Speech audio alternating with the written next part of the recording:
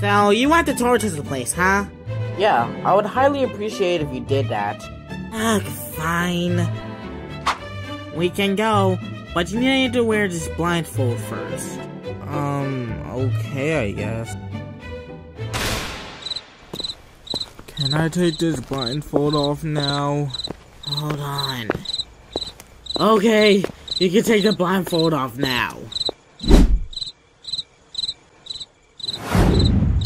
This is it? We barely even went through anything, and I had to wear a blindfold for that?